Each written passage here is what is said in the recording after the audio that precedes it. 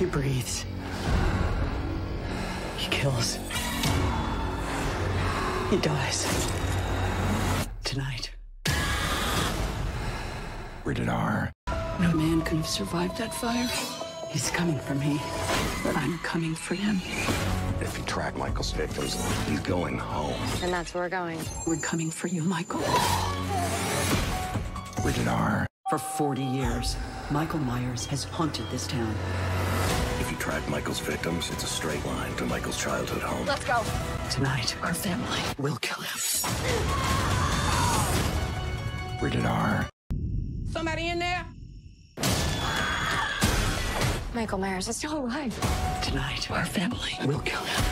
I want to take his mask off and see the life leave his eyes. Rated R.